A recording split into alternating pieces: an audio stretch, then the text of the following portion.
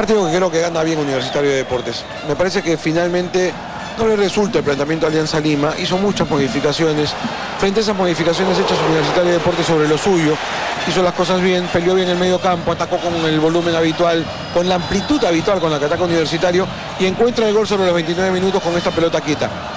Hay un rebote del área, pivotea este Piero Alba, busca por la posibilidad por la derecha, Rabanal la envió, rebotó la pelota en uno y en otro y finalmente le queda. Y Alba define muy bien. 29 minutos se produce esta acción, el rebote final es en Solís, la pelota le queda a Alba y Alba, la verdad, gran definición de Piero Alba para el único gol del partido. Alianza tuvo lo suyo, comienza a aparecer Fernández aquí primero. Aparición espléndida del arquero universitario de deportes para cortar un centro que era gol después de la llegada hasta el fondo de Aldo Corso. Para la segunda mitad pensamos que con el ingreso de Vázquez por Solano la U se iba a defender, pero fue todo lo contrario. La U salió a atacar. 25 minutos del segundo tiempo con Universitario de Deportes atacando, jugándose básicamente en campo de Alianza Lima. Los últimos 20 minutos fueron un ataque y defensa al revés. Fue Alianza Lima el ataque con corazón, con ganas, con gran desorden, que no ha sido una característica de Alianza Lima.